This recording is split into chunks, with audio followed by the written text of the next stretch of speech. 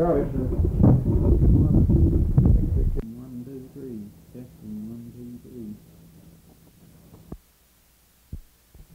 This calling is being recorded in Roy Johnston's home, Yukon, Oklahoma, October 10th, nineteen seventy.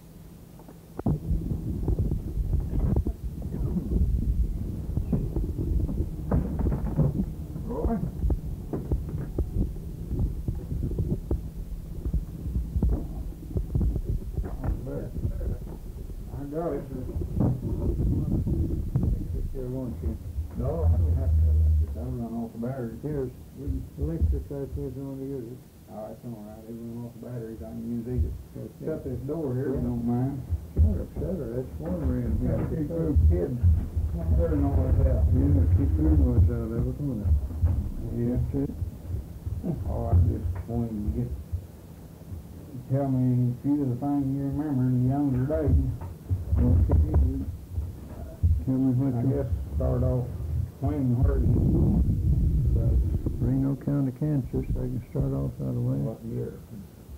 1878, uh, June the 5th. Who was your parent? Martin Johnston and, and uh, well, no, don't that beat the too. Mother's name, Ballard, and Martha LaSaint, or not Martha either, there's a, uh, well, I'll be darned. I understand you were a mother came over the trail of tears. She did. Did you ever hear her mention anything about it? No, she never did tell me much about it because it seemed like she tried to get that out of her system. Her name was Ballard, Ballard, you know. She just didn't want to remember. No, she didn't want to remember somewhere in there. See, they come up from Louisiana. Louisiana, you see, that's where that trail started, you remember? Yeah. And they fell out, they fell out at Ozark, Arkansas. That's where, the, and then her father was inducted into the Civil War, you know, there. Was your mother and uh, folks, and her, her and the folks just dropped out there? Yeah, they, yeah, yeah, Ozark, Arkansas. Her, you see, there was four girls and two boys. And they dropped out there. They couldn't make it no further. All they could do them days, you see, was just what they carry on their back. And push a wheelbarrow or something like that, you know, or drag some little old cart that they carry some belongings on. They didn't have no stock, you see, at all. Was, uh, your, was it, that where your dad met your mother? No, he met her in Springfield, Missouri, Ozark County. That's where her, she got up there with the lambs, you know. The lambs, you see, that there was her mother's side. And, and, uh, her father was a Ballard. There comes Bonnie, she's got back, I guess she's got, she went to hunt my clothes a while ago. yeah, I can tell you a little something after she gets quieted down, gets her out of the road. She's, why don't you come on in here? You been to the post office? No, I went up there again to check on this, They weren't there. no, so I'll call Edith and tell her, because I made a dozen trips up there and I can't do it during the week. Gosh, no. Edith, that's the one who runs it, ain't it? No, No? I don't know how you're gonna find out. oh, I give up. Huh? I give up. I give up already. I said I give up. oh, you give up? hmm When did y'all, uh, go out to no man's land or? We went out there, let's What see what year, I was trying to think of the years we went out. I was only eight years old when we went out there. We left, we went from Reno County, Kansas. What was that country like when you, Oh, it was just open prairie. no Yeah, just fences or no inside? fences, no, nothing at all inside, only cattle and horses. Wild horses, you could ride all day and uh, see nothing but wild horses and cattle all over the country. See any big trail herds come through that section of the country? Not at that time. They came through in later years. They uh, went from there up into Arizona and, to the north. up from Texas. in Wyoming. Yeah, Wyoming, yeah, Montana and all up in there. They went through, oh, I don't know how many thousand was in the bunch, but there was lots of herds that it go. It'd take you maybe when the herd, they camped on the Palo Duro, that's uh, North Canadian here up there, you know, they call it the beaver there, or, uh, yeah, the beaver. Well, it's this North Canadian. And we was right at the mouth of the Palo Duro, it emptied into that. And there's where they, they crossed the river because there's low banks, you see. Mhm. And the cattle, after they stay on the road for a day or two without water, they got to have water. Well, they have to string them out up and down that so they won't drown and just, well, they do. They, Pile up on each they do. They pile up and drown a lot of them that way because they're all wanting water so bad. They just flock in. You got to get the herd strung out like a big rope, you know, up and down the river Yeah. uh, so they can keep from drowning so many of them because they just trample them down and go right in. And they made that a bed ground, you know, right east of our place. There's only about a quarter of a mile down there to where they made the bed ground. And then they stayed there till the next morning. And when they went to go start out the next morning, I bet you it'd take right at a right at an hour for to get this trail by the house. Of course, they went on each side of old sod house, you know. They just right up the river bottom, you know. Yeah. They followed the river as much as they could till they had to quit, you know, to cut across the divide. Want to stay close to that water. They had to. To keep their stock. That And that's where, Water was a priceless commodity in Oh. that country, wasn't it? was it? It sure was. And especially you have a big herd that way, they had to have water. And they'd, they'd get them out and let them graze as much as they could while they was driving them. And at these bed grounds, there was always a bunch of calves left, you know, newborn calves. Well, some of the riders had come up to us. They called them nesters out there them days. Of course, we're just squatters on wherever you sat down. You didn't have no right to that land, but you did. That is yours. You occupied it. You occupied it, and that is yours. well, they'd come up and tell us of a morning, there's a bunch of calves down there. Some of you people want them. We can't take them. We'll just leave them. Which they did. Drove off and left them. Sometimes there'd be as many as 20, 30 head of calves there. And these farmers that had cows that they could milk, they'd taken these calves and there's what you call a bucket calf. You had to feed him, you know. Mhm.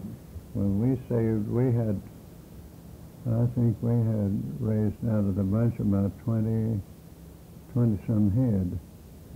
And- Texas Longhorn. Yeah, them longhorn calves, you know. And my uncle, I think he had 25 or 30, he had some extra cows, you know, at this milking. And my grandfather, he got a, quite a bunch, I don't remember the amount of calves that we'd got, but they got what they could. And them that they couldn't feed, a little fellow starved, you know. Yeah. No milk, you know, no nothing. And they got smart, and they made up a, what they called a gruel. That was made from uh, all uh, cornmeal and stuff. Got made up a feed, you know, that they could eat, Yeah. and cooked it, and uh, fed that to them, you know, and they got it thin enough that they could get that down so the calves could eat it. And they soon learned to eat out of a bucket. Yeah. And you're darn right they do. I But they was some rough characters coming up the trail, them herds, wasn't Oh, they were that. All of us, you know. There was Such a tough fella to, to stand it. to Well, was endured the, trip. endured the hardship. That's right. They had to. From But- daylight till dark, But you had, days a week probably, wasn't it? yeah. Oh gosh, that that lasted there about. I think it was right at a month that those cattle kept separated bunches, you know, that are passing through. Mm-hmm. It'd be about a month before they got them all, all these big herds that went up into the northwest there. Yeah, golly, that was, uh, Cap Hungate, I forget how many thousand he had. He was right south, southwest of Palo Duro, south and west of Palo Duro there on the Beaver. And the Goodnight, there was, uh, north, or south of, uh, Beaver City. Goodnight's bunch. Over on Sand Creek and on Coon Creek little sand or creeks, you know, little ravines like, oh, bigger than this out here, you know. Running water though. But there's no timber in that country much on it, just on those creeks. And very little of that. Wasn't used for Mm, firewood. No, we couldn't get, we used, used cow chips and buffalo chips for what, for fuel. And they would burn the stove out, don't think they wouldn't. Burn the grates out of it in a short time. You wouldn't think it'd get that hot, would you? And probably burnt fast and cured it. Did. And we fixed, the way we saved our fuel for to cook with and for the winter, we've taken this, built a sod shanty right by the side of the house, you know, and we stacked those chips in there like you would wood. Stacked them in there to keep them out of the wet, you know, Mm. snow and stuff for the winter.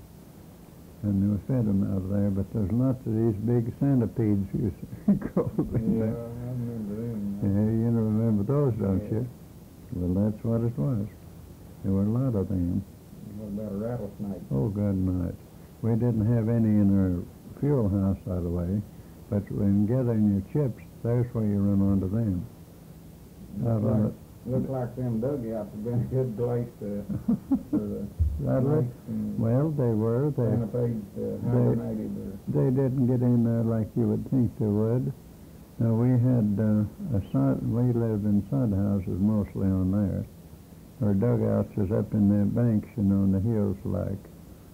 And uh, these uh, sod houses, you had to leave your windows and all. Of course, we tried to get windows and put in, we put old cloth or stuff up there over that opening for to keep the wind out and the cold and rain. And Father hung his coat in his new one that he had just built. He had never got no window in there, nor frame or nothing. He hung his coat in there to keep the night air out. And the next morning, when he got up, he went to get his coat to put it on, and he jerked a big rattler out on his feet. It didn't happen to bite him, but my golly, he crawled up there during the night, and he was nested up in that coat. A big rattler. Them prairie rattlers, they're not very large. They're only, all around two foot length, some of them longer. Well, how did them cowboys, uh, uh, sleeping out on the prairie keep them from crawling in bed with? You know what they they found out that a hair rope, a rattler or a snake won't crawl across a hair rope, and they'd throw that out around their bunk, you know. And by golly, that there kept him, kept the snakes out. Snakes didn't come in. They wouldn't crawl over that hair rope. That hair gets into that on Yeah, some way into the oh, opening in their hides, you know, there. Yeah, how to get I don't know. The scales. Scales, yeah, they're scaly, you know, a whole lot. Imagine. Well, they won't cross it. They won't cross one. You can turn him, put a hair rope around him, and that fellow stays in there. He can't, he don't get out. What about, uh, those trail herds and roundup we had on them big ranches and all that in the country?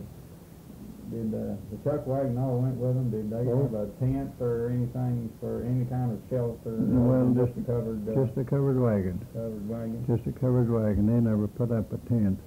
They all bedded on the ground, just out on the prairie that way. And you throw your saddle down and use it for a pillow. Take your blanket and spread it down there and use this saddle for a pillow and cover up with that blanket. Slept in Yeah, clothes? there's, it's slip in your clothes, pull your boots off sometimes to rest your feet. But the most of them is, is in their clothes out of the way. Did they have to ride the herd of the night, uh, like you see in these movies? You sure do. You had, you had men that worked, run up till twelve o'clock at night, And the way, do you know how to get the cattle bedded down? No. They turn in and get 'em in a bunch that way, and they ride around that and singing or something, or kind of a song, and they, them darn cattle will bed down, they'll go laying down. And after they all get laid down, then you don't have no trouble without somebody or something excites them, you know. And they, they uh, boys would work up, I forget how many they'd have on a shift according to their bunches that they'd have on a shift, you know, that way. And then they switched at 12 o'clock at night. And the other boys taking it up then until daylight. And that's the way they... They make a long day for whoever riding oh, that herd. boy, howdy, it does. It makes a long day for them. And I'll promise you right now that uh, when you stay up all night or half the night, you're going to get tired riding the next day Yeah. and they have six horses. That's called a string. Each man has six of them broncs to ride. And so there's none of them broke. Some of them now and then you'll find one that's well broke. But when you go saddle him up and go to get on him, you've got to ride, and you have to understand riding to ride him. now they they'll pitch with I with don't you. imagine they spent the time of breaking them nowadays as they do now, Oh, handling them and all before they got on. They them. didn't then, they just taken him as he come. And they turned in and got him, them boys got to where they, they could ride him. And as a rule, the boys would tie their coat.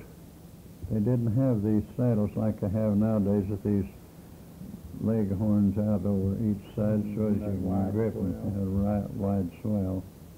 They'd turn in and take their coat and double it or slicker and tie across in front of your legs here, you see, to the, just lay it across there and tie the string on each side. Well, your legs would catch into that, you know, and that'd help hold you when your horses are pitching. By golly, that's the way it, that'd help him out in his ride. Yeah. But he always had his slicker on that darn saddle and his rope. And his, uh, as a rule, if he carried a Winchester, some of them carried Winchesters, but most of them just six shooters. Few of them had Winchesters, Winchesters and six shooters. But them Winchesters, scabbard was on the side of that darn saddle, fastened there so that you could get your Winchester in case you needed it. Some of them had them lengthways, and some of them had them straight up and down by your stirrup, you know, by your leg, Yeah. the Winchester scabbard. But they was easy got a hold of. They eat beef or wild game as they Well, if they didn't get no wild game, they'd kill a small beef. They'd kill a, a yearling that was fat. They'd always pick out a good one, of course. And they always had plenty of meat, regardless. And I believe that's why that they were so healthy. That they used fresh meat all the time, you know. And they'd barbecue that and sometimes fry it. Either way they get to it, as long as they had a chance. And it's when they got where there's wood, they'd barbecue. But them cow chips, they didn't get, they didn't barbecue there. They just fried it, you know. I don't imagine they would have flavored it too well. it wouldn't have flavored it good. no. Did they break them them broncs? Did they uh, break them and uh, use them at the same time? Oh yes, they used them. That is your- breaking period. That, You so had- to speak. You just used him and broke him together. is right. You had six of these rascals, and you switched during the day. You'd ride one of them maybe, uh, according to how hard you're to having to ride. Maybe you'd ride him pretty near half the forenoon, maybe three hours, two or three hours. Then you'd catch another and take him and let that one loose to rest because they had no grain. Everything is grass. And he had to have something to eat. And they they'd switch them horses about every three hours. I'd have to quite a herd of horses just to. Six, six. It did. They'd taken quite a bunch of horses, and they were they had a bunch. They always had a bunch of these darn western ponies in there. There's just ponies run around on the average of about oh eight to nine hundred pounds. They, That's about I guess they tough though. I guess. tough. Golly, they, tough is a name for them. They was all tough, and they was just as ornery as it was tough. But So they had pretty good rodeo cold morning when they started it was, a- it, it is every morning and every day, uh, during the day. That's it, it is every day, during the day, you'd find them that way. Whenever you caught one up and had to switch your mount, get another mount, well, by golly, you had to ride when you got him because every blame one of them seemed like they never quit bucking till they had rode him a quite a bit. And he wore himself down and then he'd, he'd mind you. Then next time you got only be things. Same darn medicine to be done over, take the same dope again. Uh, fellows. uh, well, it taken the man that had plenty of backbone to stay with it. These professional rodeoers now couldn't have done that. They No. Ten seconds all the way riding. That, that's all. They wouldn't have done that back and forth all day. No. The Lamb boys had to be tough, and they all had to wear boots or did wear boots with their spurs on it, you know. And you never got on a horse without your spurs. That is the part to hold on with. Yeah. Hang them down under their belly.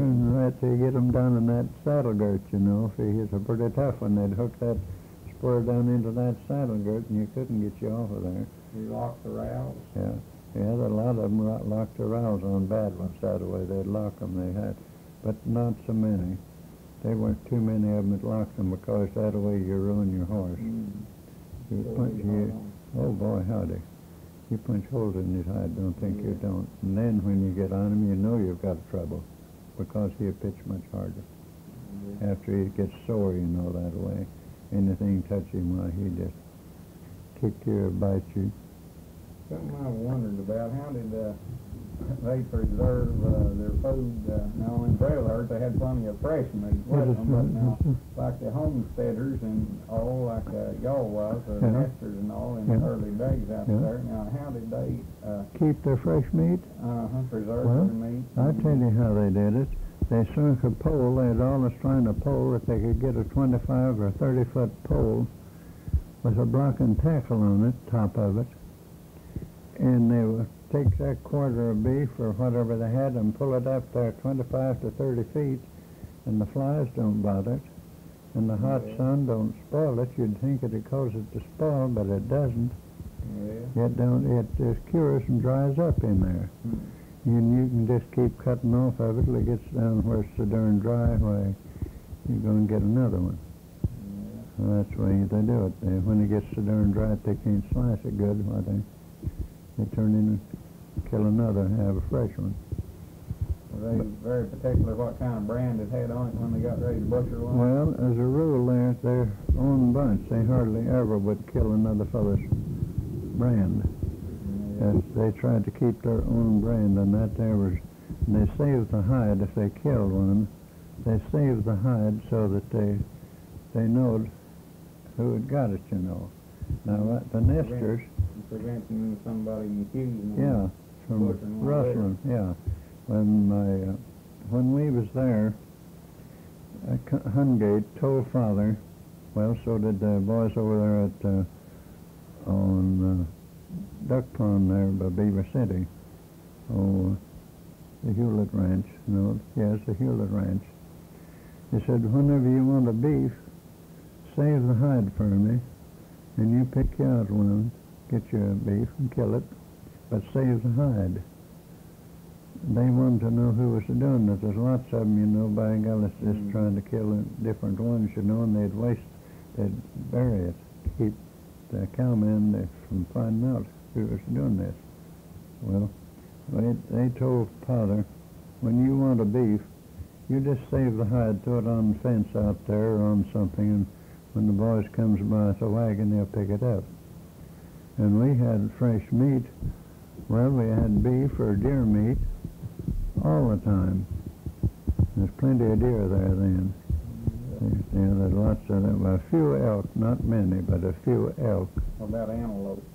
Oh God, antelope? they're, they're as thick as jackrabbits. These antelopes was. And they, they're not good eating. I don't like antelope. Some may like them, but I don't. Some way or another, it's more like a goat. I don't like goat meat. Antelope. never did eat no goat meat. I didn't- Yeah. Well, they're there. Antelope's just like a goat meat. Don't think I'd like it. yeah, and then prairie chicken during the season that way. We got lots of prairie chicken or grouse, as they sage hens. They call them prairie chickens. Sage hens or grouse, either one. There were a lot of those. But there wasn't many ducks and stuff like that till way late in the, the fall when they'd be uh, migrating from one place to another, you know. Mhm. But they What were about fishing that was it? in the Oh, spring? golly, them streams was full of fish. And the most of it was channel cat.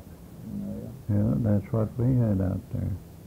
Now, where we lived there on, uh, oh, at Beaver City there, Palo Duro, or uh, not Beaver City, but up there by Palo Duro, why, uh, father would, if he wanted fish, mother wanted fish for, uh, for dinner, or sometimes once in a while he'd take a notion he wanted fish for breakfast. He'd turn in and take a cane pole, and he'd get him a grub worm or grasshopper or something, go down there, and 'twouldn't be but a short time till he'd come back with all the fish you needed for that meal. And they'd have 'em early, and any time of day you wanted 'em, that's all you needed. Get a little bait, just one old fishing pole, just a straight pole, and go down there, and golly, there's a hitting. Uh. Them streams are full of fish then. Yeah. I wouldn't think it out in dry country. No, you wouldn't. Now, the beaver there was an awful good fish stream, and so is the Palo Duro, come down from the south into the beaver. It is another good little, it is a smaller stream, and the, uh, and the beaver was, What did the homesteaders and nesters, nesters, what did they, uh, do for, uh, a little bit of spending money? They would then some things, but, you know, sugar and Oh, salt yes. and things Well- like that. Well, now what did they do for money? To get uh, cash? Uh-huh. I'll tell you what they done, they gathered up bones around over the prairie, and they'd get a wagon load of them, they'd take 'em to Liberal, Kansas, that is north of us, thirty-five. Yeah, buffalo bones and cow bones, anything, just white bones, you know. And they'd gather them, and if they get a load and take it up there, a good load, a wagon load of bones, uh, you'd get maybe seven dollars for the entire load. Well, that there would buy lots of groceries. That'd be such as brown sugar and coffee and and bacon. Once in a while they'd buy bacon, you know but uh, it is mostly coffee and uh, coffee and sack of flour, you know, or something like that. They had to have. In them days, they didn't have these knickknacks like we have now, sweets and stuff that way. The sweetness that we got was uh, brown sugar, lumps of brown sugar. We didn't get no candy much. If we did, uh, known as stick candy, horehound candy mostly, and peppermint, them two brands. And I, I was, oh, I must have been eight, nine years old before ever I got a hold of this here store candy. Yeah. Yeah, the guys they buy sugar, well, I'd get a lump of brown sugar, that's all I got. and I had to steal that out. Now, they catch you at it, of course, but they'd learn you different. Yeah, that's the first time Paul run out of sugar for his you darn right. coffee or mother didn't have a Well, he, he didn't use he didn't use it for his coffee. It was just for the cooking and stuff that way. He never got sugar his coffee. No, it was just old black. Yeah, it got that's the way they raised that. Was uh, settlers, very many settlers around in that area at that time you was out there? No, there was, let's see, there was, uh, oh, there's up and down the bottom there. Up down to the mouth of, uh, from the Pallador on down towards, uh, Grand Valley, the little post office there they call Grand Valley. That is right close to Beaver, or not Beaver, but, uh, oh, Laverne? Palo Duro. It is right south or northeast of Palo Duro there. There's a place they call, I told you there, Uh, well, there's, why can't I think of those known places? I didn't think I'd ever forget them. But anyhow, this little place, trading post, was a store, a post office. They had a place to get mail, and that was darn scattering the mail was out there. That was carried in on horseback, you know. And there was a, an outfit there, and I forget the name of that brand, that they they wanted to buy this fella, this rancher wanted to buy a 50 gallon barrel of liquor for us to keep out on the ranch, you know.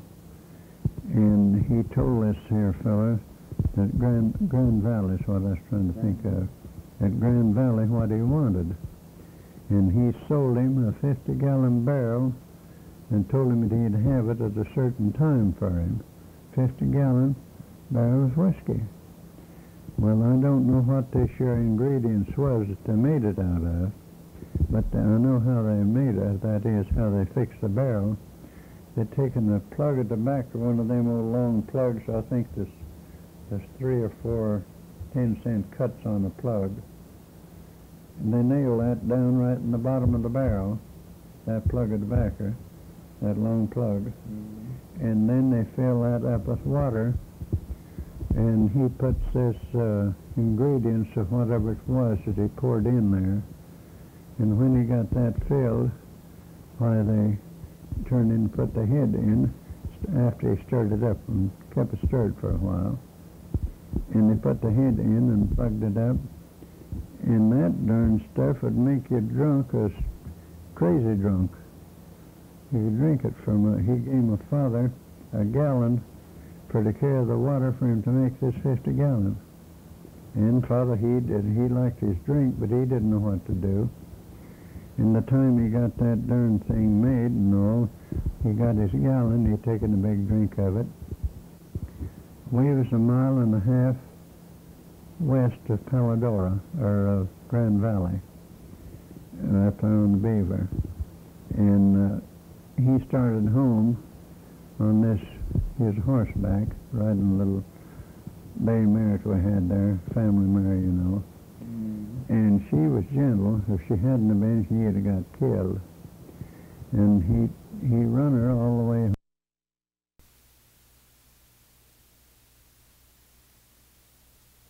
mile and a half west of Palo Duro, or of Grand Valley, and up there on the Beaver.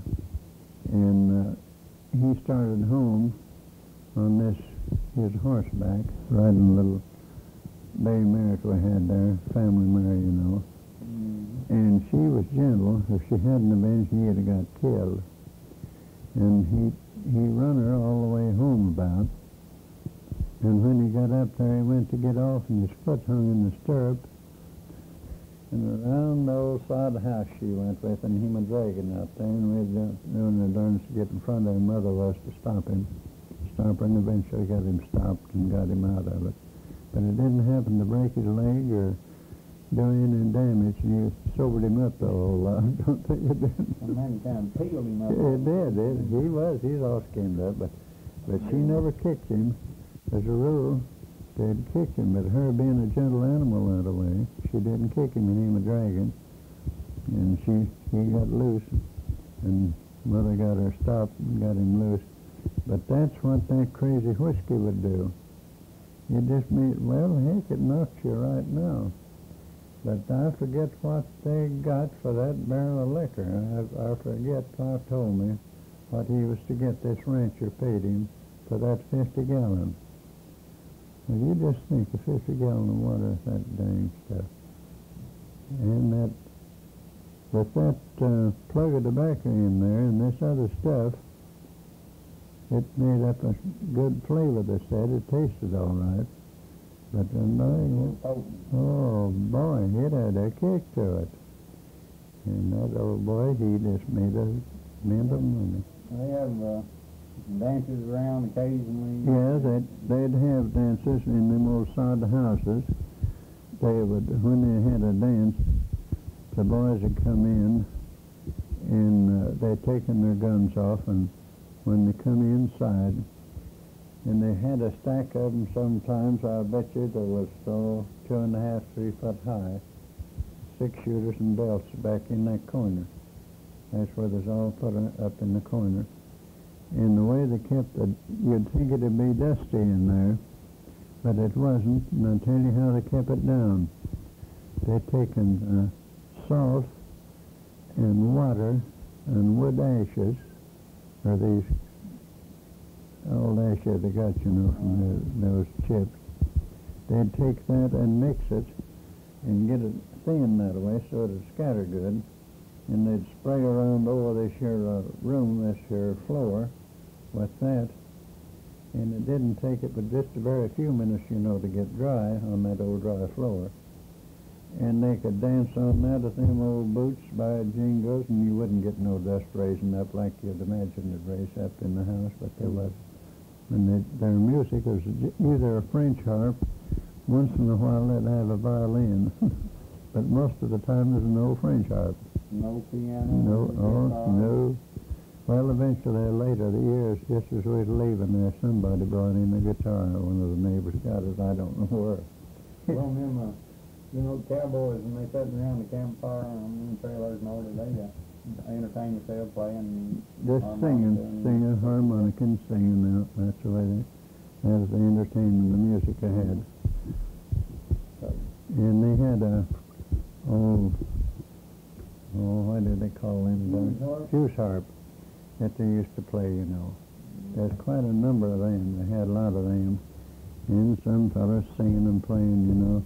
That was their entertainment. And the music was either a Jewish harp, French harp, or an old violin. And there wasn't many of them as a good violinist, I guess. but it was a noise, and that was all that's working with. Yeah, it- Oh, well, Something to do anything, most anything's entertainment. Well, they had to make their own entertainment, you see. to be good. Yeah, that's right. It didn't have to be good. But they had, uh, when they went to church, we had a, west of our place up there where we was at, there was a, Bertrand, Bertrand, I believe was the name of those folks. There was a man and his wife and two grown girls. And, uh, they turned in and uh, got the bunch together and they built a, a sod house up there for Sunday school and the whole church in, you know. And they fixed those seats around the sides, you know. They didn't have no chairs, wagon seats and stuff that way around the side of the inside for to sit on, you know.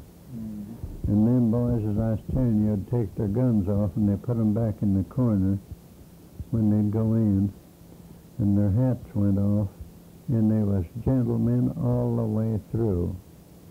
They acted that way and tickled to death to get to come to church or Sunday school, whichever it was. And women, the women back then was a, a whole lot more respected than what Well, they are now. oh, I can tell you they- I should say they were. You dashed to say anything, in any insulting word to a woman. If you did, there's always somebody handy he- taking charge. He taking charge. Knew him or not. Yes, sir. He don't, didn't care whether he ever seen her before or not. If anybody said anything out of the way to a woman, there's always somebody taking it up right now, and sometimes it, it wound up in a shooting scrape. They'd grab their guns and go outside, buy doggies and step off. Buy doggies about 16 steps. And jingles back to back and then face away, you know, and then walk away from each other. And when you got that number of steps out there, you wheeled around and fired. And sometimes both of them go down, but there's a rule that's going to just be one maybe. What keeps one from a stepping his steps off a little faster and shooting before the other and turning. Well, sure, they were just men enough that they didn't do it. Yeah. Sure, they wouldn't do it. I seen that in Beaver City down there. I got a time or two there in Beaver City. If they, uh, I don't know what they'd fell out over, but they went out in the middle of the street, and when they did, why, everything went to the side. There's nobody, rigs and everything, horsemen, horses and all went to the side. And they stepped off that away, and when they did that, they wheeled and shot. By golly, as a rule, why, one or both of them would go down. There's, them days, a six-shooter was the rule, or was the law. I imagine that most everybody knew how to use one. And they all know because they all practiced with them all the time. They practiced the same things. That is his his mainstay, you know. That is his life. Right there, that six shooter was. Mm, I've, I've heard you used to shoot the jackrabbits over at Fort Reno with a forty-five. I can. And the boys, uh, El Reno boys, up there's boys around there and over the country here. When I was working the prisoners, I I had well from twelve to eighteen men on the in the bunch that I was working. That the commissioners allowed me to take out of jail instead of keeping them in jail there and driving back and forth of a night. I got them to let me make camp and go out like a bunch of thrashing machine hands and set up tents. Had our cots and a, I had my cook. I had two boys in the bunch that I used for cooks that could do cook. Make they was cooks and that's all they had to do, do the cooking. And the rest of them went out and worked with me on the job, whatever I was doing, building a bridge or whatever it was. And I kept kept them out there. Well, I, I spent a year with them that way. You probably started out practicing that forty-five when you just Oh, tot. I was small when I went to using the 40, 45. I was only about 13, 12, 13 years old at the time when I did that. I got, and I, I was coming in one evening. Oh, I'd done this several times, killed rabbits out, a setting, you know, in the spring of the year that way. Uh, right north of El Reno up there, about, oh, let's see, it's, well, it's right east of Concho. There was a fellow had a little alfalfa field there. It was about, I guess, maybe ten, five or ten acres of it. And it had the darndest bunch of jackrabbits in there. See, we eating that alfalfa, you know, as we was coming in from work. And I had the boys to, to stop the darn car and to see how many of them things I could kill before they all run, you know. And I get from three to five of them before they all got away. Well, it's setting all you had to do is this fast you could shoot. so you could Did you, did you aim or just point? Oh, heck, I just turned and pointed at him. I knowed where he was at down there. and I was coming in on the west of Fort Reno. The last one I remembered I killed for the boys that away, and they all, well, there was a write-up in the El Reno paper, and I don't know now where it went. This rabbit jumped up as I was coming in. I had about 16 men, I think, on the truck then. And uh, this jack jumped up right to the side of the road and he started up on the incline there. And I had the boy driving, Charlie Carlisle was driving. I said, stop, I want to see if I can hit that fellow. And he was running from me. Just how did he go? I might have done that once in a thousand shots, but I made a perfect shot out of it. I hit him in the back of the head, and him a running, and the boys all they jumped off of the truck to run up there to get him, and uh, you couldn't say whether it's coming back or leaving me, but bad dogs, I know they'd all be back. and they run up and got that rabbit and brought it back, and I'd hit him right in the back of the head, and I bet I couldn't have done it again in a thousand shots. Uh, But I could hit him running, but uh, hitting that, making a dead shot like that, that is just, that's one of those things. But they told that when they got in El Reno, and all the boys were, stayed with it. They says, I told them the same story. Says, we know it because we saw the rabbit and we saw him shoot it, and we know it had done it. And they had it in El Reno American. They had that piece. Yeah. they- When, uh, when did you start out riding, riding uh, horses or, well, any- Breaking? uh, uh, anything besides gentle horses? Well- when you started riding? I was- I was, I expect I was nine years old when they was in my uncle's. They had these darn western ponies there, and we was right in the edge of the sand hills. There's a string of sand hills runs right north of Beaver City, right on west there. And we was living in the edge of them. And the boys, my uncles, George and, and Charlie and Tom, Pa's three brothers, they would turn in and grab me up and put me on this dang bronc, you know. Of course, they had a rope on it. No saddle. All I had to hang on to was the mane. and I'd get thrilled, and then they grab me and stick me back. I had no choice. They'd, uh, they used me just as a dummy that way.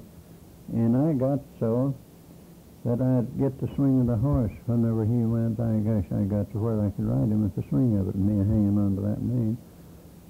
And then came down here. I didn't have no saddle out there. And after the opening of the country here in '89, why, I got me an old broke down saddle for I think it was three dollars. It is my first one. I think it was three dollars I got. Some fella discarded it, you know, didn't want it. Well, father fixed it up for me so I could use it. And I went to breaking horses. And I got them for the use of them. See, we only had to span of ponies. And you plow them all day on an old plow, or working them, that they're pretty well worn out, you know. Well, if I wanted to go anywhere, I as I couldn't take them because they was too tired, You had to let 'em rest and I had had to let them rest because as the feed they got was grass. We didn't have no grain, not the first year, and so by August I'd have I broke horses for the use of them, and when I got him broke and the fellow was satisfied, why I'd get some other fellow who always had one. Here I got one to break. He'd take him and use it. And I did that for, I think it's about two years I worked at that. That's what I remember. That's how, and uh, it, I was doing that, and so uh, I, uh, I turned in once in a while. I would strike a fellow, and I a fellow here on the river, north of town here. I was trying to think of his name now. I can't call it to mind. But anyhow, he had a mare down there, four-year, four-year-old. She'd weigh about 900 pounds, and he wanted her broke. He said he'd give me five dollars to break her. Well, that was a lot of money. Five dollars, boy, howdy, I'd been. I had money when I was breaking one for five dollars. Well, I'd taken this little animal, and he wouldn't allow me, wasn't don't allow me to break her with spurs. I told him, well, I says, you just keep your mare. I can't, I can't break her. No. And he found out I wouldn't, so he said, well, if you're determined to, to wear spurs, I don't want her cut up. Well, I says, I mean, I, I won't cut her up much. I says, but I'll make her mind me. So I broke this little mare, and boy, she was a rough one. And I turned in. Done tried her, hadn't? I have an idea head because I when I got her broke, she was gentle. You could run up to her and she'd stand there. Of course, she'd throw her head up and kind of shy. She was you was running, and you get up there and walk up to her and she wasn't shy. But if you run up to her, she would. And I got her broke so that he could get on and ride her and do anything he wanted to. And he said, I'm satisfied. He gave me five dollars. I remember that five dollar bill as well as. What, how old were you then? Oh, I, let's see, I was about 11, 12, let's see, 10, 11. I was right 12 years old then when I was doing that. And Father, he, he's afraid I'd get hurt, and he tried, tried to keep me from doing this. But I had to have something to ride. And as long as I didn't get hurt, why, he didn't mind it. I've been thrilled. Don't think I haven't. I've had my head stuck on the ground. How many, how many broken bones have you had? there? Oh, I couldn't tell you. I've been rolled over, horse fall off me and rolled over me, but he's never, never mashed me. They're pretty heavy as they go over, but they're just, just right now and it's on over, you know. I don't, he don't lay on there. He just hits you he'll fall and roll over you, but you're lucky if you don't get your leg caught in a stirrup or something. And I, I've had them do that with me numbers of times. And I've got broken bones too. I got broken legs. What, what- happened to that cashew leg there? You keep bandaged up all the time. That there was, uh, I was taking a bunch of cattle to the pasture on Sunday after a sleet storm, and the ground had this coat of ice on it. And these, these Chickasaw cattle that uh, Tom Cox up here, the butcher, had bought. And I was taking them to the pasture out here at Uncle Jim Smith's, northwest of town. And uh, this one left a bunch, you know. I had about 12 or 15. I forget how many I did have in the bunch, but just a few that way. And she quit 'em, and she was broke to running. This little mare, but I noticed I rode so much, you know.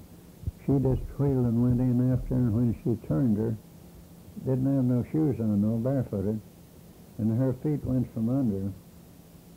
And she fell and slid on my leg there for about 14 foot. They measured at the ground there where it marked it, about 14 foot. Well, I broke my leg across the instep, and this ankle was busted up there, and above it, it was just all mangled up in there. Till they didn't Doc wanted to cut it off, and they wouldn't let him. And he was going to anyhow. I said he'd have to later, and I said no. So he put it in a plaster Paris cast crude outfit that he made them days. I didn't know too much about things. But he put it in there. And I made me a wooden leg out of an old cedar post from Mr. Ellison, our neighbor down here in the east part of town. E.B. Ellison's place. Uh, he had a cedar post around his fence, and uh, I had my brother to go down and cut one of them out. I couldn't get no stick nowhere. he cut that out, and it was for, oh, I guess a month or more before Miss Allison missed it.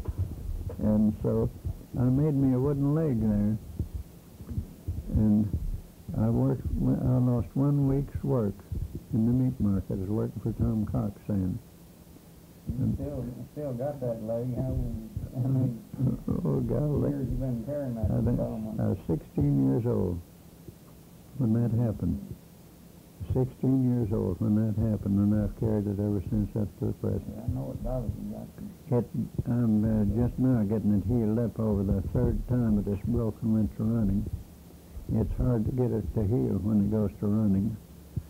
And uh, my uh, nephew over here at the city, a doctor over there, he sends me some stuff up here to put on it, doctor it and take care of it for me. But I get, I get around on it. I hope I get around, And this other hope I thing. get around that well Yeah. I'm your age. That is my left leg. Now my right one's all, well, you'd think it was uh, broke, but it ain't been broke. It's just where broncs chewed it. And uh, I shoot it. You can see, you can see how, how like that is on there. See there? Uh-huh. Well, that's just where they reach back to riding them. That's you spurring him out of the way. He'll reach back if you don't watch him. He'll grab you your darn leg with his teeth. And that's how come that to be all black that way. Yeah. And was done out there. They, they snap off of that by God, it'll just like something that's broken. They'll get that their teeth snapped and they they take a move that. But that's what, look at that leg up. But my left one here's the one that broke. It's broke across the instep there, and right here at the top of the ankle, and that's here, right in here. That's where that's kind of running. Just even when it's dark, you can see there. You know, getting it, it, but he- it's healing up. It was running.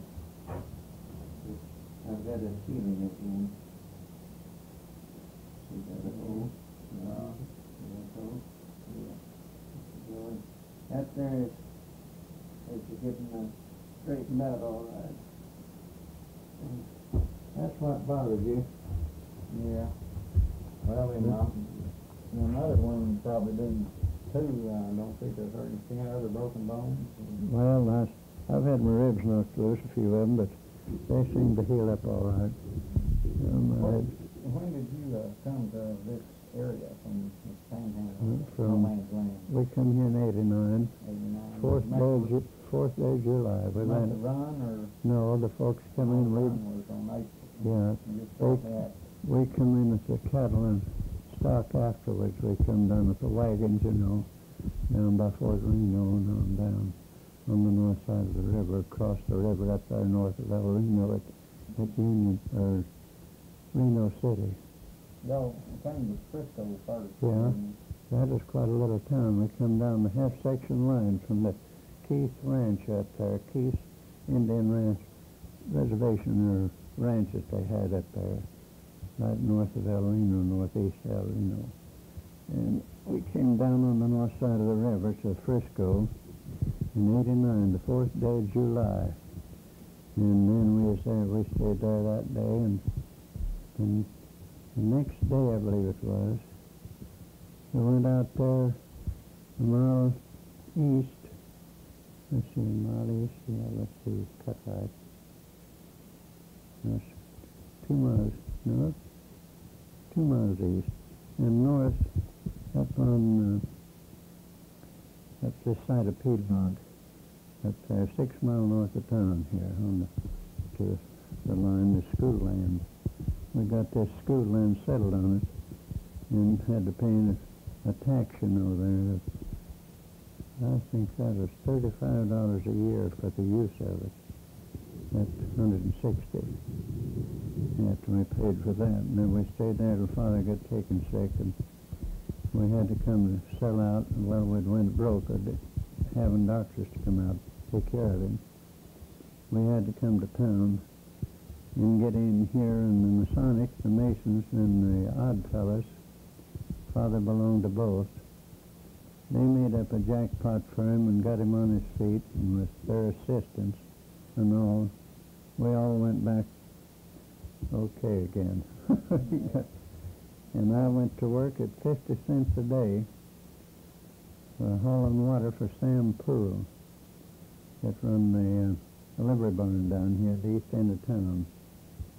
He had a livery barn there, and them days we didn't have a lot of wells around. There's only two or three wells. There's one public well here right across from where the First National Bank is now in the center of the street, but it didn't give enough of water. Then there was another one down there with the livery barn, but uh, it was another shallow one. Then there was one a block north and two, let's see, one, two, two blocks west on the north side of Cedar Street here now. There was another livery barn over there then. And at the back of that barn, they had a pretty good well there, but nobody wanted to use the water because it was right there with the barn, you know. And we hauled water at 50 cents a barrel and filled the barrels up around over town that way, that heavy. Well, bring me a barrel of water. Fifty cents a barrel, fifty Fif- eighty cents a yeah. day. Yeah, 50 cents a barrel, and I was working for 50 cents a day. Mhm. And so as I get in the water out here where the uh, city park is now, right here on Turtle Creek, there was a well out there. Was it that spring where they, uh, used to camp on the Chisholm Trail? No, that is on south of it, a half mile. Yeah, but this one out here was a well that had been dug, and they had a windmill on it. Somebody had money enough, Spencer's, I believe it was, put this windmill up there. Later, they didn't at first. We had to had to pump it, you know, at first. And they later days they put a windmill there, but you couldn't pump that dry. And I've had a threshing machine pump. I eventually got smart and got this here pump fastened onto the wagon so that I could drop the hose into this well and I could pump these barrels full. It wasn't so long, long doing it. You selling it, was to these, delivering it these businesses around town? Yeah, and then uh, residents all over town buy ours for 50 cents a barrel. And every time one would run short, why, that guy says, oh, let's bring me a barrel of water and this and it kept me busy hauling. Yeah. That's what it did. Just kept me busy. And I got 50 cents a day for it. Well, that beat nothing. I wasn't doing nothing. I wasn't getting nothing. And Father couldn't get no work. There was no work for him. So by golly, I stayed with that there till on till uh, I was trying to think. Sam Carson, I believe it was, a blacksmith here. He got a a well down there, and lots of them would go to his place, you know, and carry it away. He didn't mind them having it. They didn't charge them nothing for the water. And they'd carry it off in buckets, you know, in little kegs and barrels. And then directly there's another one or two found, got a well dug, you know. It eventually put me out of business. How did, uh, how did you, uh, get to be, uh, shift, uh, deputy sheriff? Well, that there come in, and I was 17 years old when uh, John Hackett he was under sheriff at El Reno under Tom Jackson, I believe it was Tom Jackson. Either Jackson or Cannon, and I don't remember now for sure which it was. But he was uh, undersheriff, and he came down after a fellow here that had shot his father-in-law and mother-in-law's house full of holes with an old 45, and they had him arrested. Got a warrant for him. And that is down in the river bottom where the lake is now, Lake Overholser here. And so I, they come down to get him, this uh, undersheriff did, you know. And by golly, when he got down here, he hunted all day, or all forenoon. He couldn't catch him because this fellow seen him first, I guess.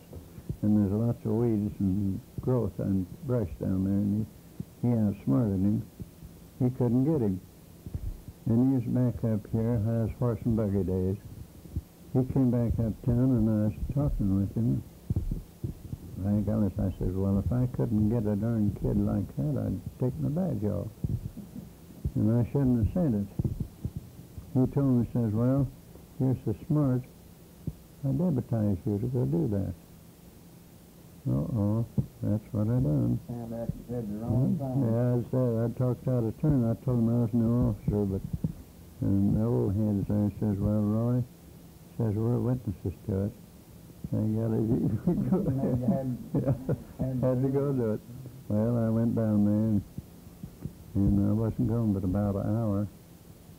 I crossed the river twice with him down there. I, I seen I had him, I got his trail where he'd been running in the sand there, not along next to the bank. None, I just, I didn't know for sure, but I had just taken an idea that as him had seen me he was running, and I didn't know, but I followed that a ways, and I seen on the opposite side of the bank where he waded into the river, that the water was running back down from where he had waded out.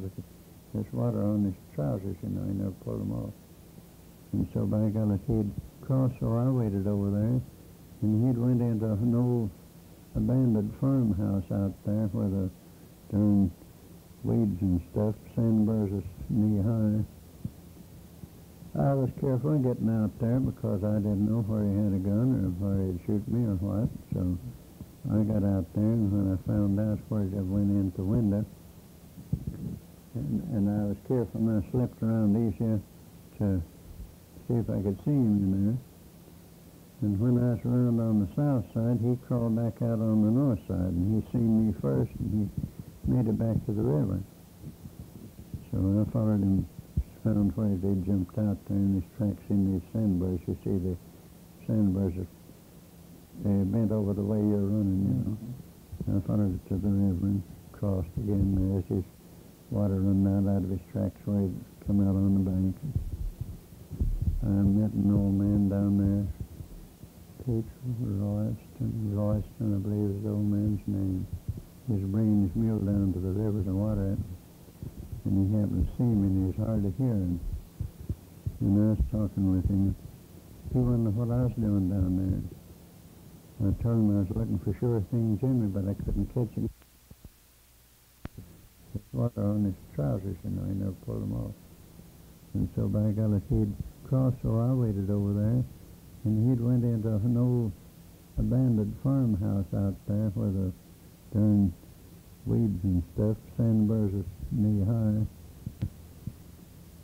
I was careful in getting out there because I didn't know where he had a gun or where he'd shoot me or what. So I got out there, and when I found out where he went in the window, and, and I was careful, and I slipped around easier to see if I could see him in there. And when I was around on the south side, he crawled back out on the north side, and he seen me first, and he made it back to the river.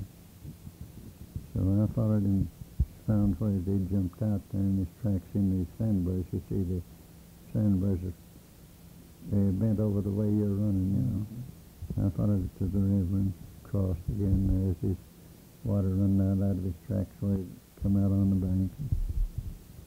I met an old man down there, Royston, Royston, I believe is the old man's name. He was bringing his mule down to the river to water it, and he happened to see me, and he was hard of hearing. and I was talking with him. He to know what I was doing down there. I told him I was looking for Sure Thing Jimmy, but I couldn't catch him down there in them weeds, and, and I was supposed to get him, bring him back. I said, I can't get him down here, so I thought I'd go back home.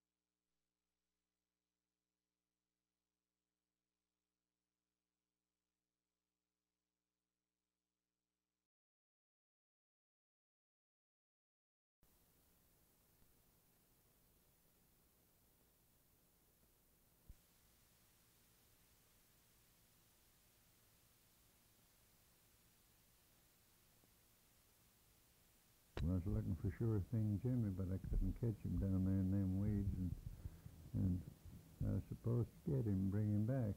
I said, I can't get him down here, so I thought I'd go back home. And he kept talking so loud, and me having to talk to him, and Sure Thing was in the darn brush there right close to us, and I didn't know it.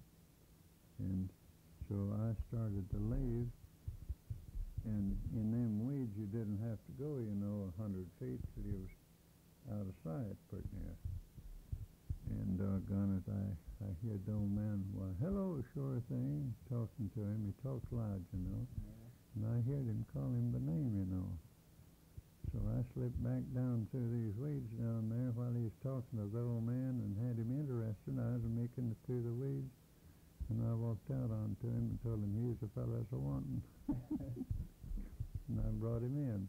You've been a deputy, or I've been in uh, law, law ever since. heard commission ever since. Yeah, 17 years old, and still got one. And they won't let me do without it. And uh, that Badger boy, I Yeah. there. that's an old one. Yeah, U.S. he Marshal. felt, uh, felt sheriff Yeah. on it. Yeah, that spelled sheriff wrong on it. That's right. And that's an, uh, I believe your boy said your daddy carried Yeah, that, uh, father was. he was he was uh, deputized as U.S. Marshal the second year after we got here. The marshal there was Kuntz. I think his name was John. I believe it if I remember. John Kuntz. He was the United States Marshal. That was, uh, under, when that Ivers Parker, a hanging judge out of Fort Smith. Yeah, was, uh, Par- had he- the jurisdiction over the Yeah. Well, that was now Oklahoma, yeah. it? That is headquarters, Indian Territory. See, it was Indian Territory, and we had to take him to Fort Smith. But- dad worked under He worked under Kuntz and deputy U.S. Marshal. Father was a deputy U.S. Marshal. And I, on this other deal, when I brought this fellow in, about a week or such a matter after that, Father had been out here by Piedmont. He did post office it was then. There was no Piedmont. There was a post office a mile east of where Piedmont is now. And I was, uh, I went out there, or he did that day, serving some papers, and on his way back, he stopped at the post office for to get something. And there's a fellow by the name of Cooper running it, a one-armed fellow. And he wanted to know what Potts are doing out there. So what are you looking for today, Johnson? No, there's an officer. And he tipped it off to these two fellows that was there. There was two outlaws there. Holcomb and Nation. One of them had five charges of murder and the other six. So they was no pets, you know. Well, he came on home, and when he got home, why, he was telling me about it. I says, why didn't you get him? Well, he says, I wasn't quite ready. Says, what do you think about it? You think you're brave enough to go with me over there and get him? Well, I says, let's be a going. Well, we got my uncle's old Surrey, one of these old two-seated outfits that had curtains on it, you know. Yeah. we drove over there, and these boys decided they better get out and get 'em a job of wheat shocking, you know, and they wouldn't be noticed then, which they did. They'd been out that day, and they was a walking in from the north, a mile north of the post office. They'd come in from over there, and there's about a half a mile north of the post office. We seen these two fellows a walking, and Pa thought that was them. He wasn't sure. And he says, I believe I see a coming down yonder now. And I was sitting in the back with this Winchester because they- relied on me because I was a good shot at a running target or a moving target. I was a, I was a good shot at it. They gave me the Winchester, and father and his brother, Tom, was in the front seat. And uh, father had his, didn't have no scabbard, he just stuck this gun down in his trousers, 45. And when he went to get it out of his trousers to cover this fellow, he got it hung up in there. And Tom covered his man on the other side of the buggy. They divided, you know, coming down the road, one on each side. And so, by golly, I covered this other one's the Winchester. And father got his gun then. This fellow kept begging him to hurry up and get out there and search him. Says, we ain't got no guns on us. And says, search us so that kid will take that Winchester down. Says, he'll kill somebody. And talking about me, you know. Mm-hmm. Well, by doggone, he, he went searching them they didn't happen to have, so we handcuffed them and put them in the back and brought them to town, then taken them to El Reno. Put them in jail up there, and that night they dug out of this brick jail.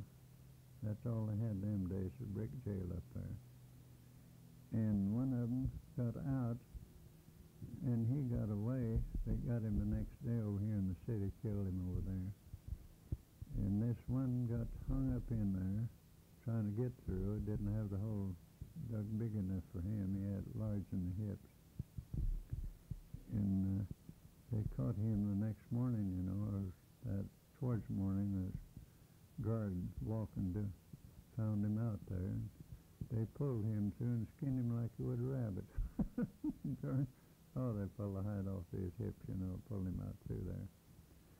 And that's the other one. He jumped in the buggy down there that next morning with an old man and an old lady. And of course they had wired telegraph Oklahoma City to look out for him, you know. There's telegraph them, no phones. And I got us this officer spotted him uh, getting in there the way there's acting and all, and he has warned about him, and he tried to stop him, and he started to run this horse, and he shot him out of there and got him, stopped him. And they, What'd they uh, do with the one that, uh? he went to, he went to South. Where, where? McAlester. That's where they're taking him. They got him down there. Yeah, he had to go to. They taking him down. I don't know where he served time or what they done with him. I never did learn. Yeah. They got to see the they sent him over the road though. It's a cinch Did, uh, because he had that many jobs of murder against him. You see. Yeah, I expect he got uh, the chair, or not the chair, but the rope. Them days they didn't have. They didn't yeah, have they, rope. they didn't tolerate no foolishness. Oh no, oh no, that's why they call him the hanging judge down there, old Judge Credinger. Mm-hmm. Go. Did they ever have any hangings or lynchings around in, around in this county? Not in Yukon, around Yukon, no. No, out no. in, uh, no man's land. Oh, out there, they get one, uh, they, if they caught a fellow, if you murdered somebody, killed somebody, and they caught you, there was no, you didn't go to court. They got a limb someplace or a wagon tongue. That's where you spent your day. There's one out there by Beaver City. They, he'd killed an old man and stole his horses, and they recognized the horses, you know, and this fellow with them, why they know they had the right man. And in doing so, he turned in the Billy Hancock and his deputy was a following him, and uh, they found him. They'd been out I think it was a day or two days that they'd been following him. But anyhow, they was out of water, you know. They had to have water, and they didn't have no canteen with them, so they seen this here timber down there. Uh, that is south and let's see, that is southwest of uh, Beaver City. And south, uh, no, it's south and east, pretty. So they seen that and they went to it. You know, there's water where there's green stuff out of it. There's bound to be water too close, close summers. And when he got over there, well, there was a, a dugout, and uh, a man standing out in front, and they went down there, and this fella that they was a chasing had killed this fella's buddy and taken their team and left the team that they was a hunting there. And so this Mexican went to get off of his horse to go down to help, you know, and a six-shooter slid out of the holster and discharged and killed him. That is uh, Billy Hancock's deputy. Well, there was two dead ones right there. So uh, Billy and this, this other fellow loaded them onto to the old wagon that they had there, and he taken them on in, and Billy turned in taking up this trail, and he caught the, this fellow, and he was tongue. He didn't know no tree handy. And they- they put That, no, sir. They would, you wouldn't think they could hang you on a wagon tongue with a can. Choke you to death, you know what I mean?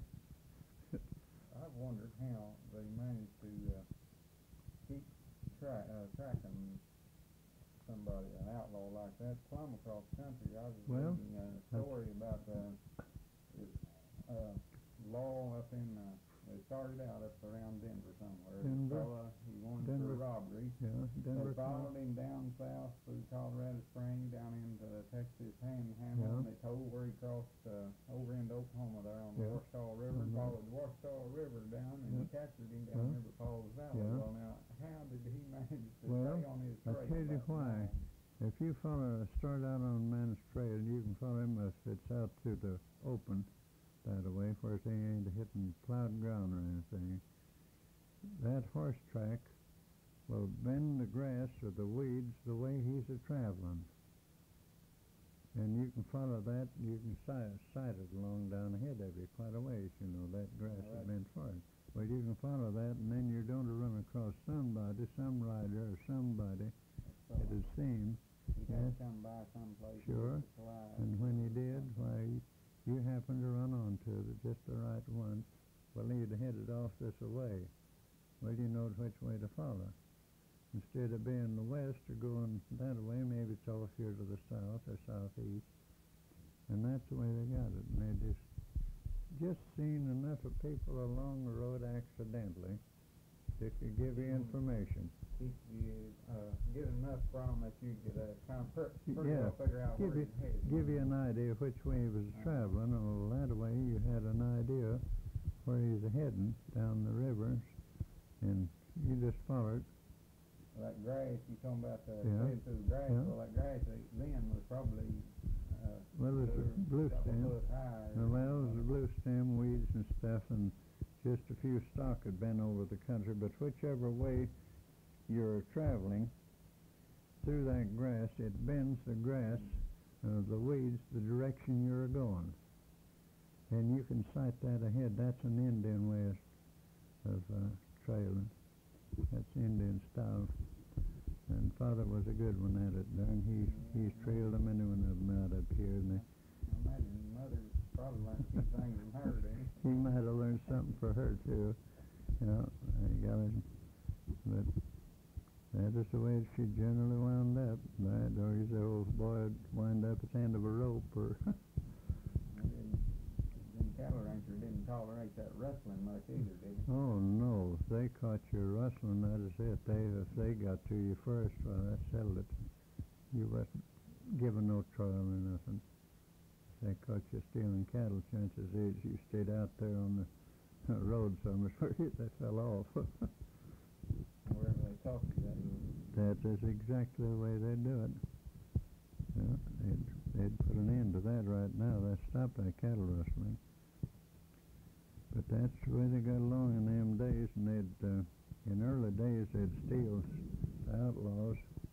You see, uh, the no man's land, as that Beaver, or uh, Oklahoma Panhandle, Uh, known as no man's land, the outlaws would uh, steal and go into that country early days.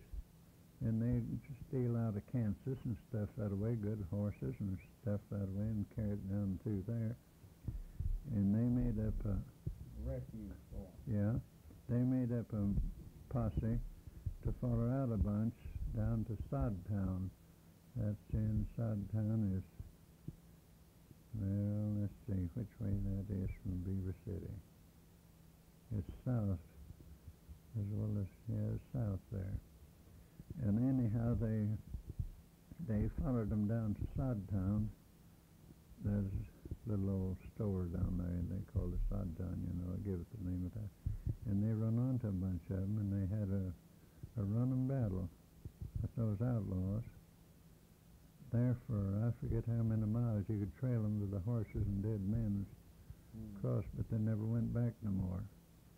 That was the last trip they made, uh, citizens made down in there because they was, outlaws was too strong for them. But they was on the run, but yet, they got us, They well enough organized, enough of them well enough organized, they, they put the citizens on the run that way, you know. And they finished up that way, and they, they could have trailed them there for I forget how many miles across that prairie by horses and men that they was. Killed uh, and- You know, what, ever hear, remember how many was killed? No, I never did. Billy Hancock gave us a lowdown on that. There's, oh, Billy, he used to tell us about how many was in there, but I don't remember. What are some of the, uh, more noted, uh, outlaws and, uh, lawmen that you've, uh, come in contact with, uh, in your life? Oh, golly, Tell, Tilghman, Tell, uh, I worked, there was, uh, there was his old U.S. Marshals, you know, Tilghman? Heck Thomas Tilghman, and, and uh, Kuntz, and, uh, and Chris Madsen, and, and uh, oh, what the dickens was that other old boy's name now? It was, there's five or six of them. I think that I've got their names here, some of the old boys' names here in my book somewhere that I used to, to work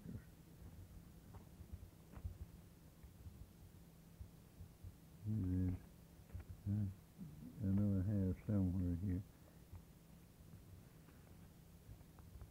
Old, uh, That Thomas, he was, uh. he was a good one. He was, uh, really better than what, uh. Well, there, there's Bud. History has given him credit for being. You're darn right he was. He's better than he's getting credit for. And here's uh, Bud uh, Ledbetter, Heck Thomas, Bill Tilghman, Chris Madsen, and Coons, and, uh, and my father's name I ain't got it on there, M.W. Johnston. And uh, That Tilghman, didn't he start out under, uh, Wyatt Earp at, Abilene, didn't, wasn't he, didn't he Uh, start out as his deputy? I ain't sure. I can't. marshal or something? And I was trying to think. I was trying to think of some more. We had some Indian deputies in there, but I can't think of their names. Imagine those Indians deputies. Oh boy, how did they were? They were good ones, and they were reliable. They never quit. They never did quit. Those Indian deputies wouldn't. And they was good trailers, and they was good to, to slip up onto things. You know, they had different ways. No, they time it. Um, oh, what's his name now? I'll think of it directly. He died here in California. Mhm. James, Yeah, J- not James, no. younger?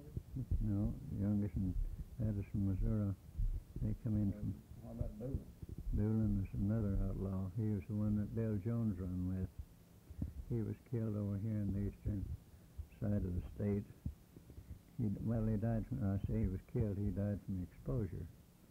And they had him on the run in bad weather, you know, and from the exposure, he turned in and, and passed out, and uh, they was so close on him, the U.S. Marshals was, that uh, they they knowed he was going to make it, make it in home sometime to see his wife, and they found out he was sick. Sure, then they knowed he'd make it or try to make it home. Uh, and he had made it home all right, but he had died after he got there. And they found found the place and they surrounded it. And, and when she, Bill's wife came out, why, they asked her if Bill was there, and she said, yes, he's here. And says he won't harm you, though. And so they forced her ahead of them into the house to see, and when they got in there, there he was laying dead on the bed. He was dead, sure enough. And they give her, you see, there was five, or, uh, was it five hundred? No, it was a thousand, five hundred, a thousand, I forget which it was now, thousand, I think it was, reward on him. And they told her they'd give her half that reward if they'd let him, let them set him up outside and, and shoot him and take a picture of him. So as to have that for identifying, you know, if they'd, that had killed him. Well, she agreed to it. She knowed he was dead and it wouldn't hurt him then. But they never thought in shooting that man uh, in the breast chest here with this buckshot that they shot him with, the holes stayed open. They never closed. The dead flesh, the holes will stand open. If it's live flesh, they'll close. And they never thought of it them days about that. And they'd be darned, they paid off. The government did. Yeah. Paid off by doggies. But you can, you can see yourself, live flesh that way will close. Well, your dead flesh will stand open, and so, uh, oh, I was trying to think of his name now. He died out here in California. I was trying to think of it. Not Jesse James, but, uh, oh, his brother was killed at Woodward. Woodward. Oh, Jennings, Huh? Jennings? Well, Jennings, Al Jennings. Mm-hmm. Old Al, Al by doggies. He's, he's, he's another good old pal of mine. Al wasn't, he wasn't as bad as a lot of people thought he was. They called him an outlaw and all that, but his brother was killed at Woodward, shot in the back, and he went out to revenge him. You see, his dad was a judge there at Woodward. Judge Jennings. Yes, I read Yeah. heard about it. Yeah. read about it. Well, he he was judge, and he tried to talk Al out of it, but Al went out, him and four other fellows, there's five of them in the bunch. And Al only killed one man, and they claimed he killed 20. He killed one man down here by the Spike S Ranch, here, a little old store. They was riding, and they'd run out of food, and they had to have some groceries, and they stopped in at this store.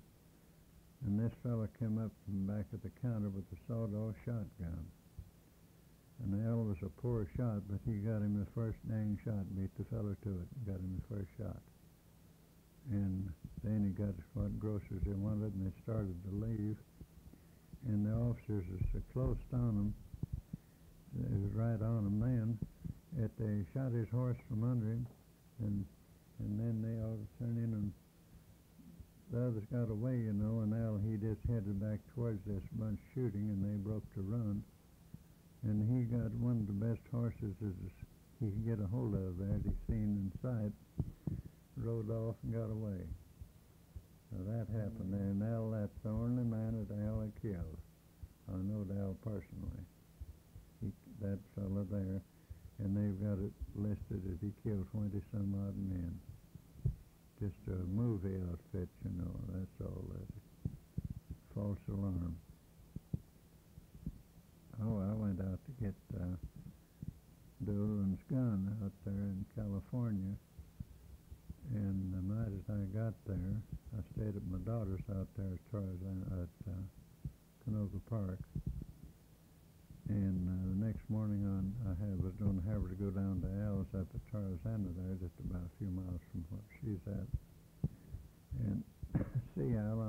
This 645 that Doolin had there that Al had, you know.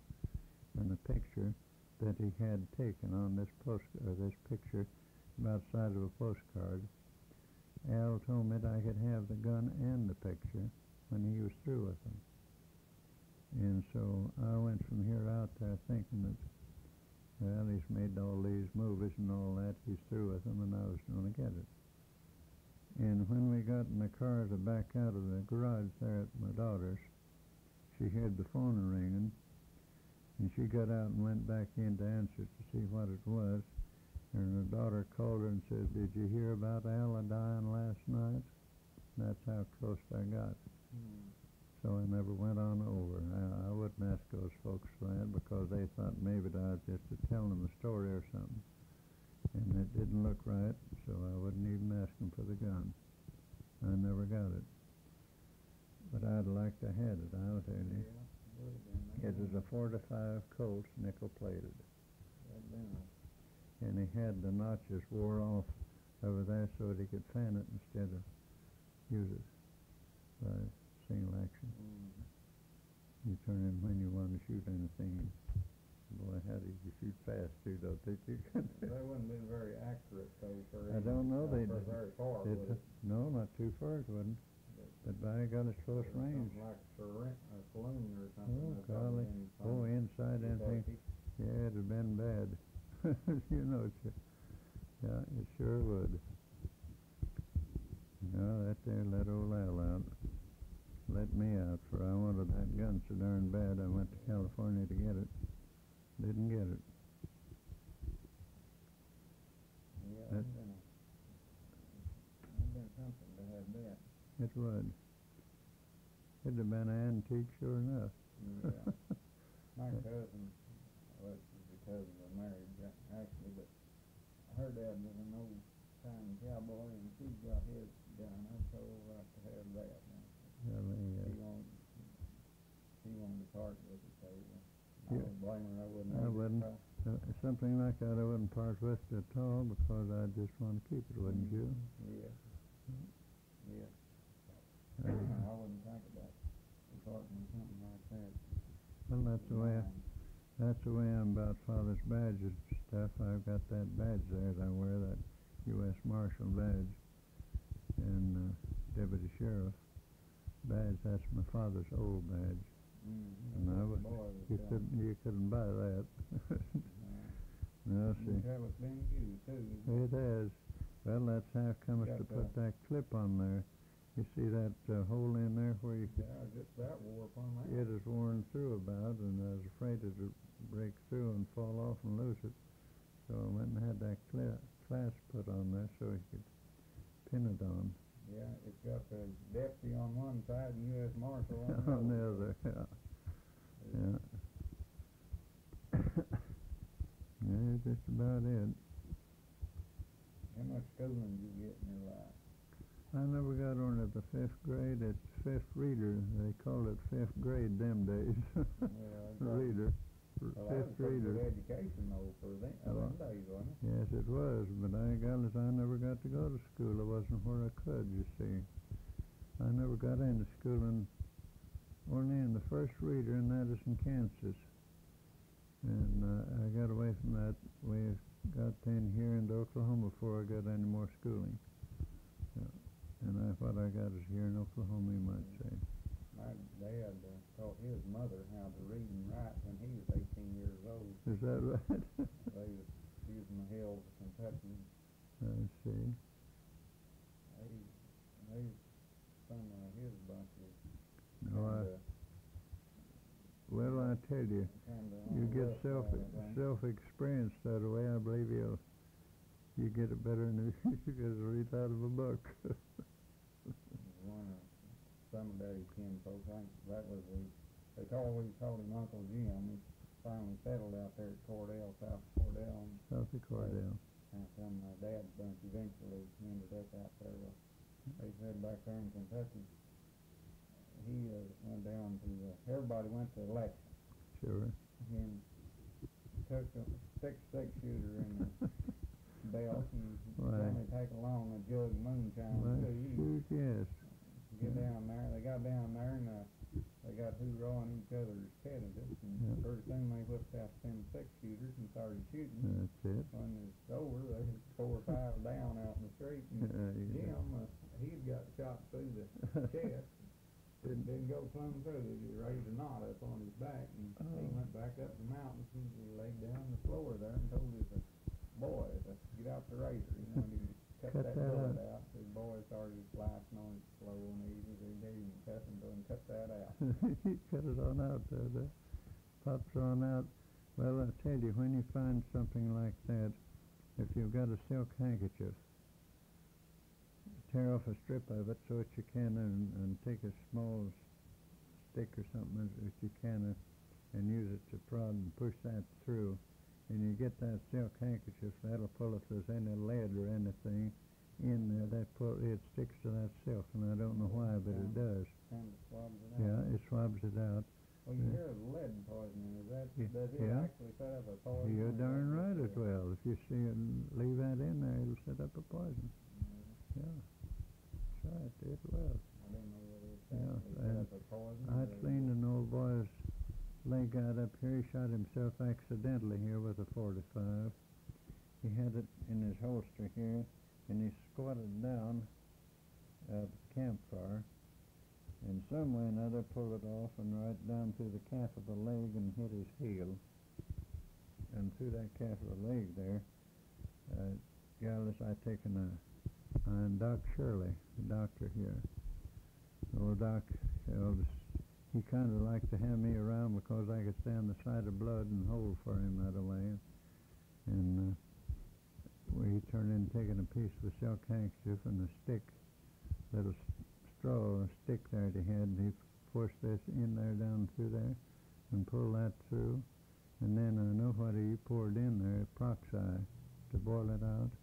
He had that in his kit, and he boiled that out and uh, bandaged it up, and that old boy got okay, all but that heel, where it hit the heel that way, it made him limp, yeah, shattered the bone there, and we never, it made him limp all the time. It got healed up all right, but it always made him limp. It made that ankle, you know, bad in there. Have any kind of anesthetic?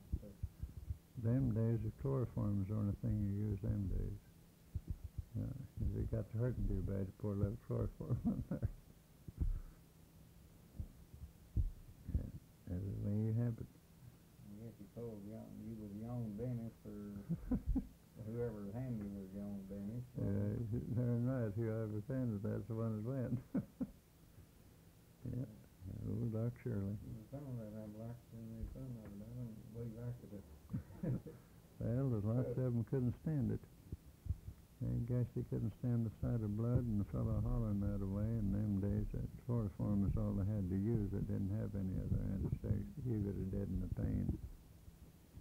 And just grit your teeth and take it. That's, I heard that's, that's, uh, I heard you say, uh, say something about not liking cats one time. uh, Cats. Oh, I hate a darn cat. And I'll tell you why. If there's anyone dead around the place, in early days, you know, you know we didn't have screens on our houses. And if there was anyone died, there's a notice from that there person that the dang cats, I don't know where they come from and how they get it, but they crawl in through those windows if they're open or a door and they get, if you don't watch them, they get in on that corpse to eat on it. Well, I've set up with several of them here, and the darn cats will come by, golly, you'd be surprised now. They will, just like flies, seems like. Doggone, I don't want no cat around, I just hate the darn thing. Oh, wait, one uh, thing I was wanting to ask about, and I know you're getting tired of that quick, but, uh, Bates, Bates Christian, I've Oh, heard. of it. Uh, I've heard, I've heard of He can do that. He can ride a bronc. And I tell you another thing. Old Bates uh, had he done that as a show a time or two. He put a silver dollar in the bottom of his stirrup and put his foot in on top of that with that silver dollar under his doggone boot. He'd ride a bucking horse with it. And when he got through where that silver dollar was there, he done that at Fort Reno. Old Bates done that. I know that he done Right that. until he quit. So he quit, rode him up there.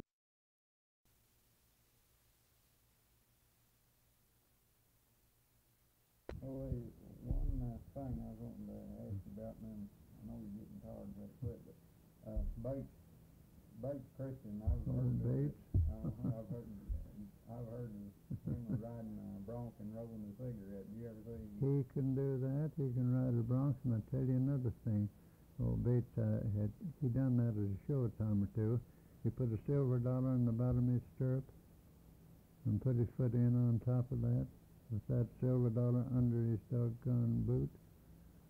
He'd ride a bucking horse with it. And when he got through where that silver dollar was there, he'd done that at Fort Reno. Old Bates done that. I know he done Right that. until he quit. He quit, rode him up there, and when he got off, there was that silver dollar there.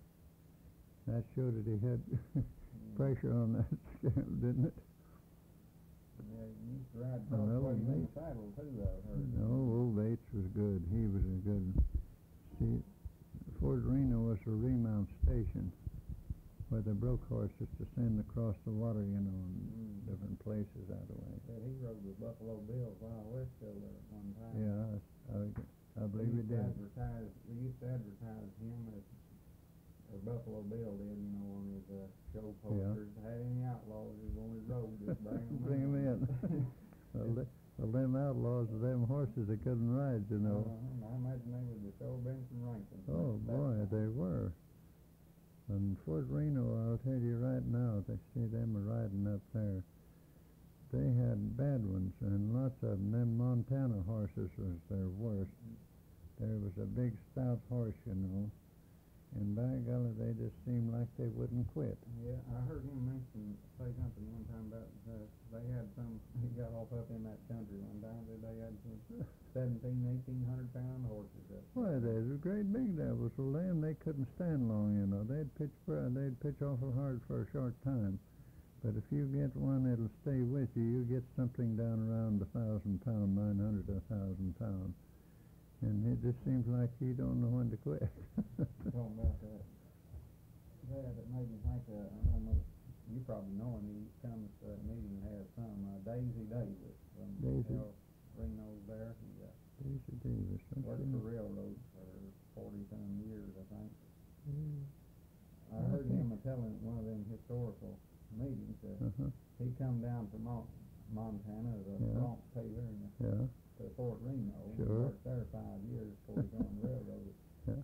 Then uh, another time I heard him, well, after that, after the meeting, I got talked to him. He was telling me about this bunch of horses he brought down. He was working for a fellow up there. Yeah, and we came down with the horses. Uh, and he stayed with the horses there at Fort Reno and went, they shipped them to uh, New Jersey, some, or somewhere up there in New England. yeah. And he went with them up there and it was a colored outfit that got him. And yeah.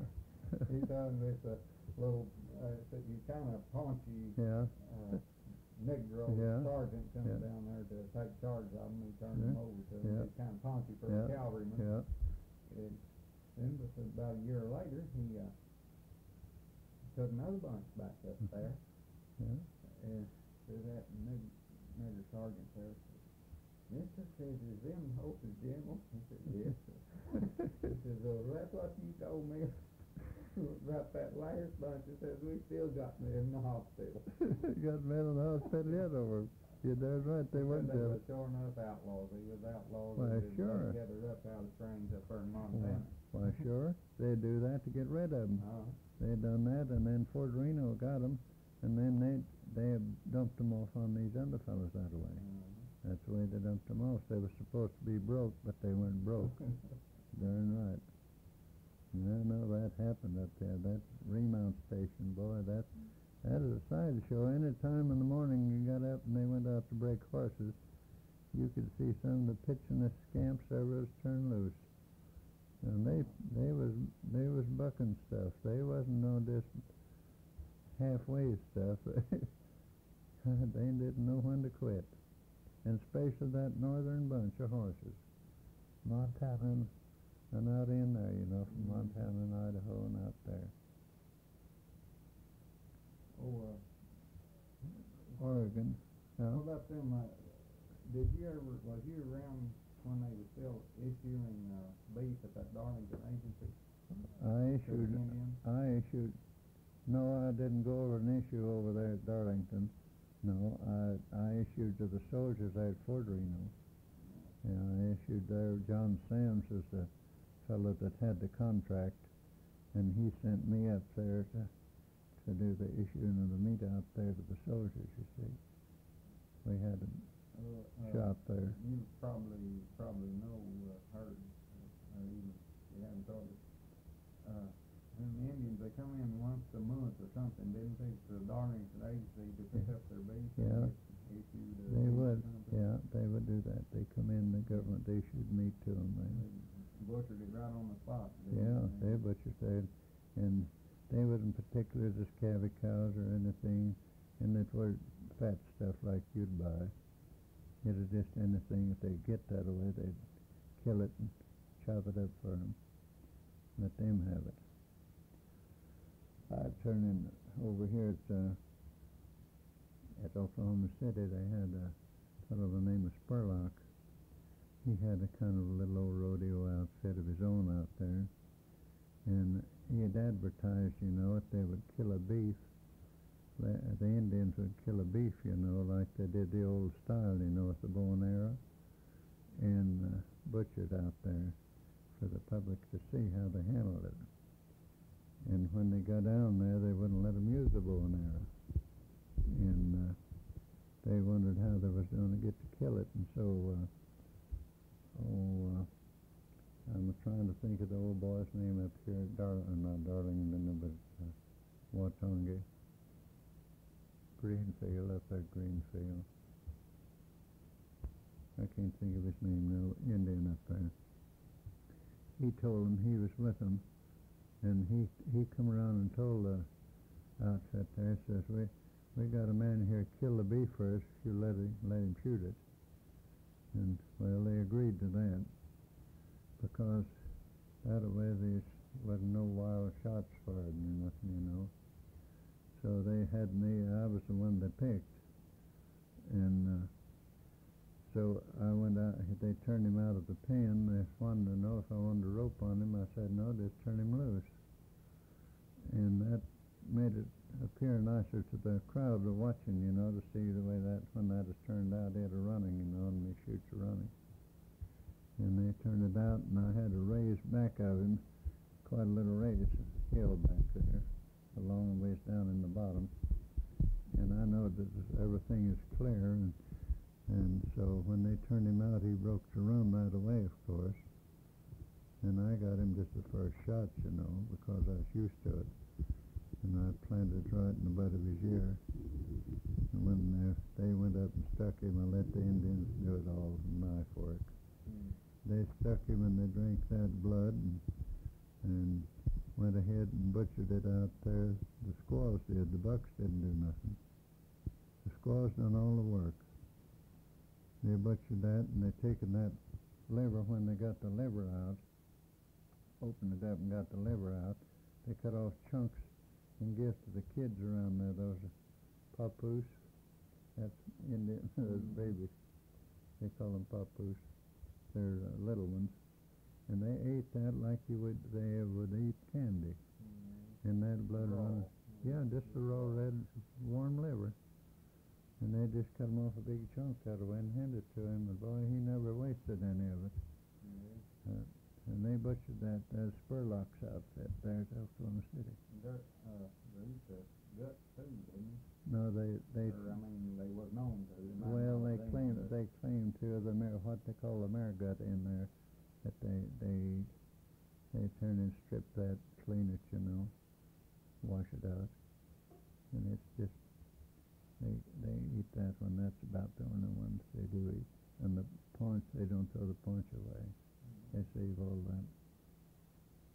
Roy, I'm, I'm sure you're getting tired, so I better Well, I think quit, you I'll Thank right you. enjoy it.